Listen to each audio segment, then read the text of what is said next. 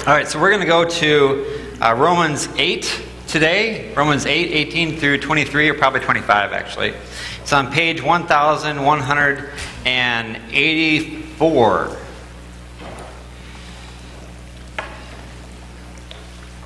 Thousand one hundred eighty-four.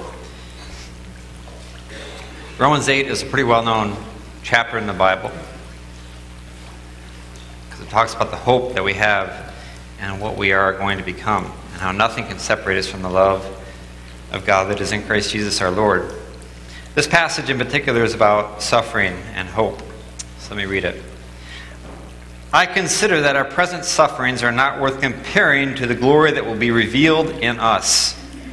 The creation waits in eager expectation for the sons of God to be revealed. For the creation was subjected to frustration, not by its own choice, but by the will of the one who subjected it, in hope that the creation itself will be liberated from its bondage to decay and brought into the glorious freedom of the children of God. We know that the whole creation has been groaning as in the pains of childbirth right up into the present time. Not only so, so, but we ourselves, who have the first fruits of the Spirit, groan inwardly as we wait eagerly for our adoption as sons of the resurrection of our bodies. For in this hope we are saved. But hope that is seen is no hope at all. Who hopes for what he already has? But if we hope for what we do not yet have, we wait for it patiently. This is the word of the Lord. So have asked this have you been asked this question lately? So what are you going to do with the rest of your life? If you're graduating from 8th grade or perhaps high school or perhaps college and maybe you've been out of college a year or two and you're thinking, you know, what am I going to do with the rest of my life? That's a very uh, good question. Often, if we're in that point, we have sort of an idea, but we don't know the particulars. Someone asks us uh, again and again, maybe our parents, we say, you know, I got an idea and I hope it works out, but we often don't know exactly. Uh, this question applies to some of us who are a little bit older too, right? Sometimes we get in a job and all of a sudden we lose a job and you think, well, now what am I going to do with the rest of my life? And of course, it applies to us when we get older and our health sort of disappears, or maybe we retire. And from time to time in areas of our life, we ask this question what am I going to do with the rest of my life? But today, as we enter into again our series on heaven, our present future home, I want to ask that question in the context of dying, rising again, and then having all of eternity to live. So, a couple weeks ago, I talked about the fact that we're going to have a body in the new heaven and the new earth. Today, I'm going to talk about what we're going to do with that body. And to understand a little bit of what we're going to be able to do with that body, I've got to go back to the beginning of the Bible to understand a little bit of how people were originally created. So, we start with our passage in Romans 8 18, and it says this I consider that our present sufferings are not worth comparing to the glory that will be revealed in us. It doesn't take too much uh, analysis to figure out that we suffer. There is a lot of suffering. There's also a lot of joy, but there's a lot of suffering in the world. But we might ask, well, where, where did this come from? And if you've been in church a little while, you know about creation, you know about fall, you know about all suffering came into the world through a rather unfortunate event involving, well, maybe not an apple, but some fruit. And uh, that's sort of what happened. You know that story a little bit. If you don't know it, you can read Genesis 1 and 2 and 3. But I want to talk a little bit about uh, after that, how long these people who lived in the fall lived because they lived with suffering, but they also lived with great abilities. So, this is a timeline of, uh, well, really the first people who lived on earth. So, Adam, Seth, Enoch, Canaan, Mahalalel, Jared, Enosh. They all lived about, you know, on average, let's just say 900 years. That's a long time. Anybody know anybody who's lived 900 years, right? It doesn't it just doesn't happen. You watch movies movies are fascinated with this theme right? And then you know but it doesn't really happen. Highlander back in the day remember that? Rah, there can be only one. Maybe you didn't watch that. You don't need to watch it it's not that good. But uh, you know this whole idea that people might live forever is kind of a thought that's on our heart because we have eternity on our hearts. But back in the day they lived a long time but they didn't live forever and their lives uh, weren't perfect. at all. So, if you think about what could happen if you live to be, let's say, 900 years old, it's helpful just to think about it maybe 30 year periods. So, it takes 30 years to about sort of learn. That is, to get to be um, an adult. Now, if you're under 30 and you're an adult, I get it. You know a lot of stuff. But um, generally speaking, by the time you reach to be 30, it's sort of a synergy. You've learned a lot. And then 30 years to earn, and then 30 years to return if you get to be 90 years old, which of course doesn't always happen. So the point is, it takes about 30 years to get established in the world and to figure out where the food is, where the house is, maybe uh, just to figure out how to live. And 30 years, another 30 years to sort of build a house and maybe have another place to go to, to figure out where the food is, where the water is, uh, how to live life. And after that, things can get pretty comfortable. Most of us maybe can retire when we're 60 or 70 and you think about it, if you were going to live another 800 years, you could just build onto what your abilities were, and you would get to be a very, very powerful person. That is just in your sort of humanity, as long as your health held together. If you just got to be a lot older, you would also get to be a lot more powerful, right? So, here in the Bible, these people got to be very old and very uh, influential, even though uh, they weren't uh, perfect anymore. And you can actually kind of see how this timeline goes. Um, a couple of them probably ended their lives at the flood. Methuselah and Lamech died about the same time of the flood. And of course, Noah, Noah went through the flood, and everybody else lived after the flood. Um, what I want to focus on, though, is just their power and their uh, ability. And not only theirs, but some other people who lived at that time. Ever heard of the Nephilim, right? The Nephilim were in the earth in those days and also afterwards when the sons of God went to the daughters of humans, the daughters of men, and had children by them. They were heroes of old, men of renown. And what this talks about is people who weren't righteous, but people who were uh, sort of the opposite of righteous. And, and the Hebrew interpreters of this passage would look at this and go, these are probably people, um, the daughters of men are, are daughters of humans, and the sons of God are people, uh, well, not people at all, angels, probably fallen angels, who had relationships with the daughters of men, and then these men of renown were born, sort of half people and half, uh, well, angel. And I don't know how that works, but eventually God put a stop to it. Uh, but the point is, they're called sons of God, went to the daughters of humans, and had children by them all of this is these are great, amazing, powerful, long lived people. Even though they were living past the fall, were still had great abilities and were incredibly powerful. Now, what does this all have to do with our passage back in Romans? Well, the world wasn't as it was supposed to be. This is the next passage in Genesis 6. The Lord saw how great the wickedness of the human race had become on earth and that every inclination of the thoughts of the human heart was only evil all the time. That's pretty, that's pretty significant. And of course, God didn't like that, so He sent the flood. That didn't work that well in terms of affecting His heart, so He sent the better thing, which is Jesus. And then through Jesus, He doesn't only destroy, but He builds up. And then in Jesus, we have a little bit of the glory that Jesus has, and someday we're going to have more. And I said all that to say this The creation waits in eager expectation for the sons of God to be revealed. Notice the wording there. In the Old Testament, the sons of God were the angels, the sons of God, more than likely the fallen angels. In this passage, the sons of God is us. It's us. So Paul here, who knew who would have been very familiar with the Old Testament passages, is saying that we're going to be amazing people somehow. We're going to live forever. We're going to be perfect. We're going to be powerful. We're going to be glorified. It's going to be stunning in terms of who we are going to be. And then it goes back into this text here. The creation was subjected to frustration, not by its own choice. So it's all is bad, and then all is going to be good in the future. So I don't know if I explained that that well. The point is this the world is a messed up place. We suffer, but someday it's going to be restored. And even the glory that was present in the old uh, people, the men of renown, is somehow going to be made magnified in us. And we're going to be made new. And all of creation is waiting for the sons of God to be revealed. Well, who are the sons of God?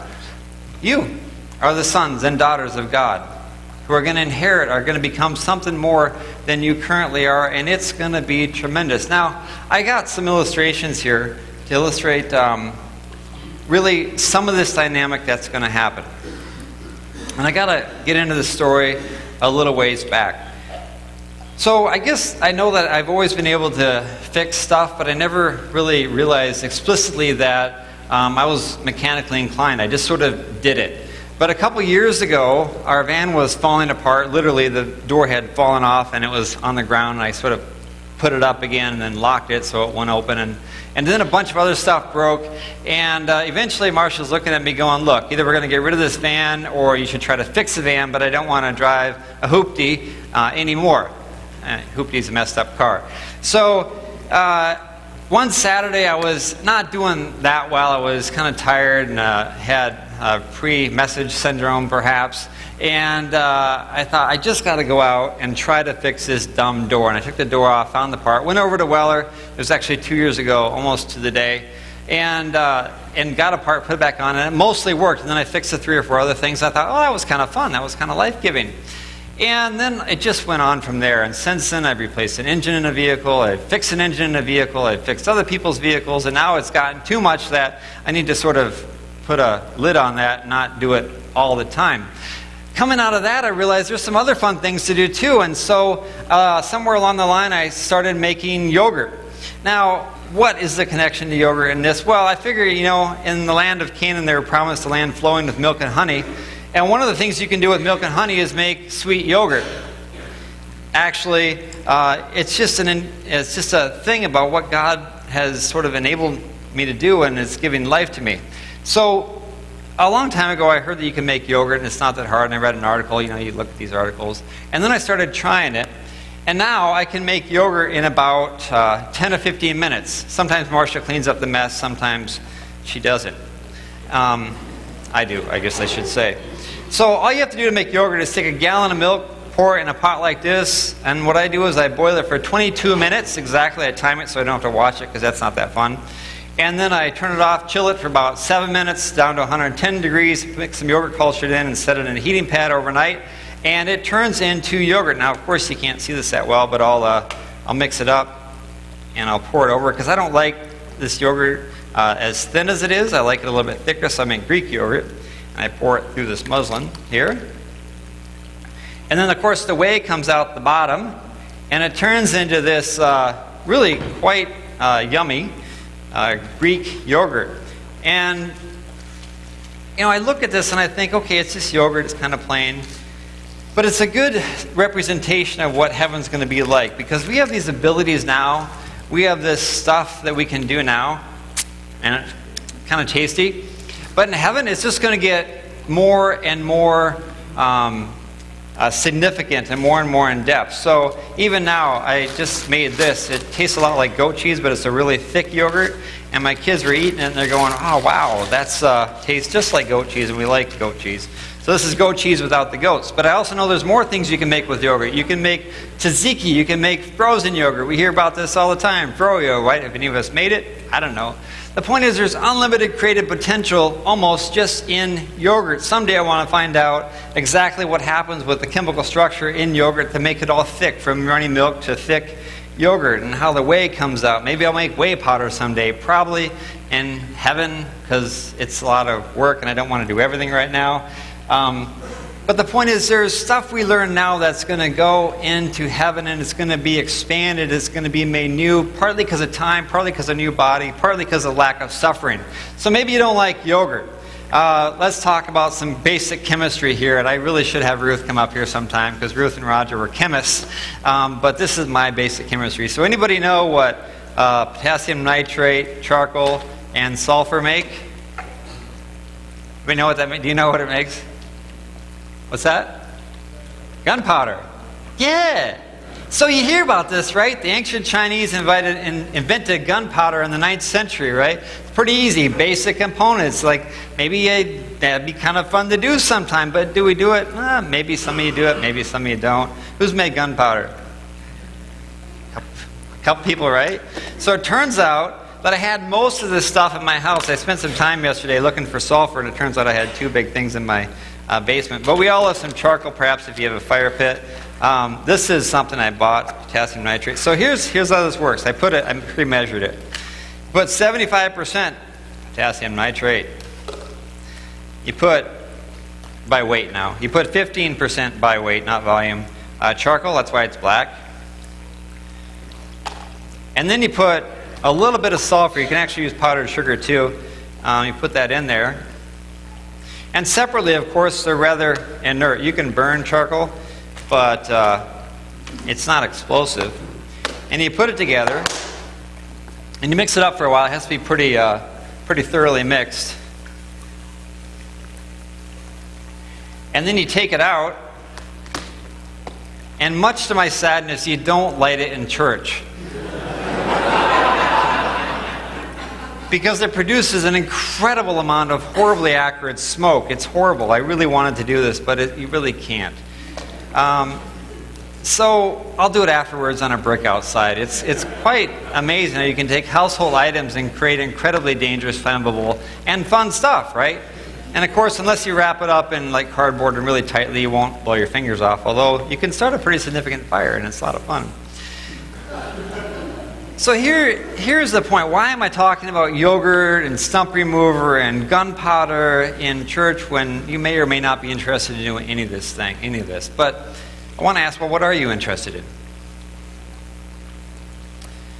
What's on your heart that maybe you're doing now already, or maybe you just always have it on your heart, but you never can quite do it?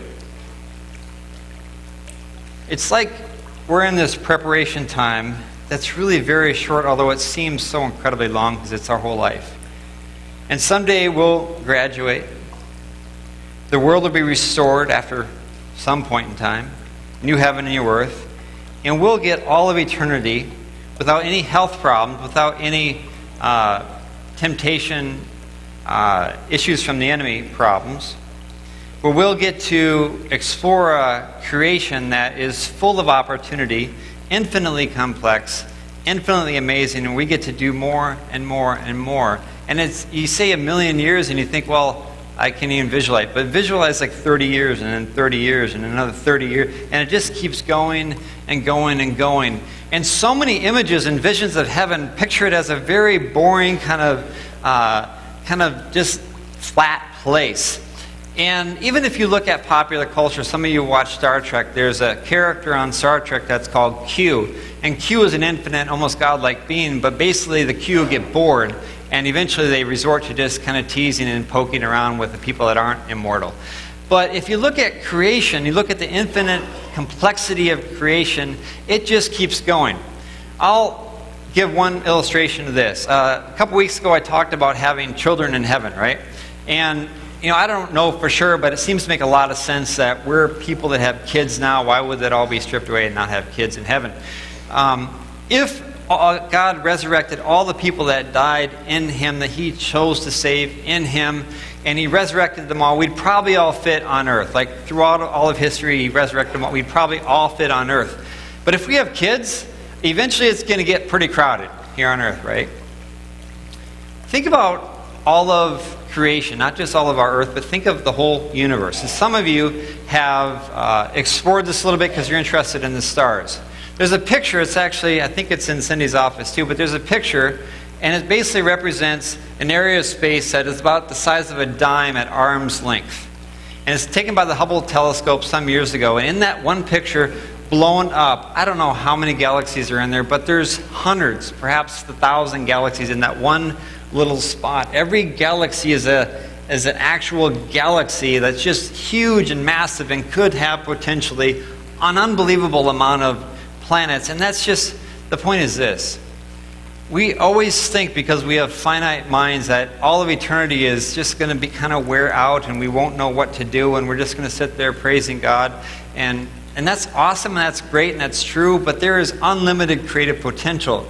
And what the Bible teaches through a variety of passages is that, yes, when we get to heaven, our prayers are going to be answered in many ways, and God will probably tell us some things like why we had to go through so many difficult things that'll all make sense or won't matter as much as it does now.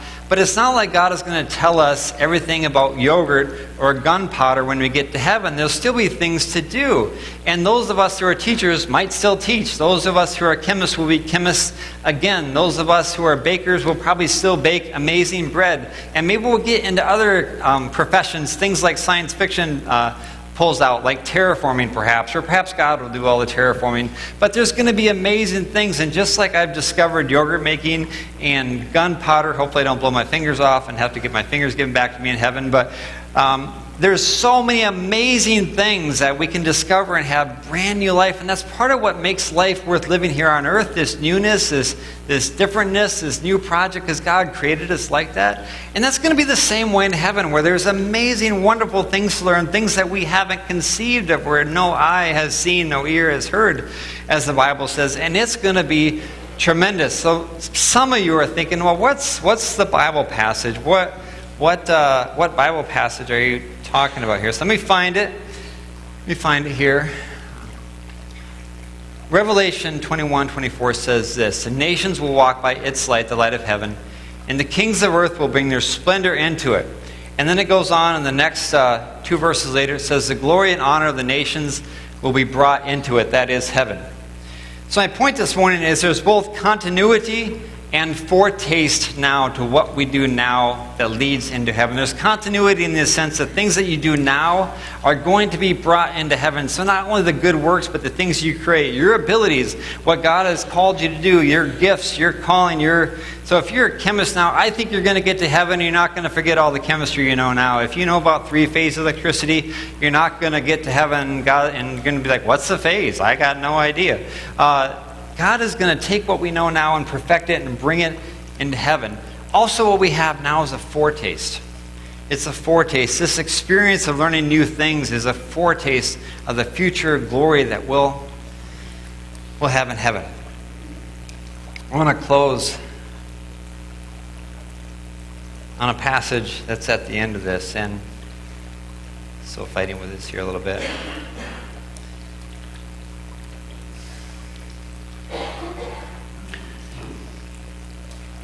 The church often teaches, um, or we often catch, and perhaps we put it on ourselves even, that Christianity is a fairly small set of moral requirements that we just have to do. And so we have some impulses are good, some are bad. Some are helpful, some aren't. Sometimes we go, this feels so right, and it is so right. Sometimes we say, this feels so right, but I know it's so wrong. And often as a church, we'll sort of say from the Bible that, well, you can't do those things, you can't do that, you can't, and that's, that's all true because that's not often how God has called us to live. But how this works is when the Spirit lives in us, the Spirit convicts us, the Spirit guides us forward to life that is everlasting, that is abundant. So, what I want to do as we close is invite you to consider the smallness of what God might be asking you to give up, to the richness, to the abundance of what God wants to give you. Glory in the future and glory now. I've given up a lot in some ways, although far less than others, to be a follower of Jesus. But I receive things back, like even this mechanical ability, that far exceeds any of the garbage I've been asked to give up. We're called to be a church that's filled with His glory, and some of that glory comes now, and some of that glory, all of that glory, is going to come when heaven and earth are restored. So much of our heart longs for eternity, and that's exactly what God's heart longs for Two, I want to invite you to pray with me as we lead into communion.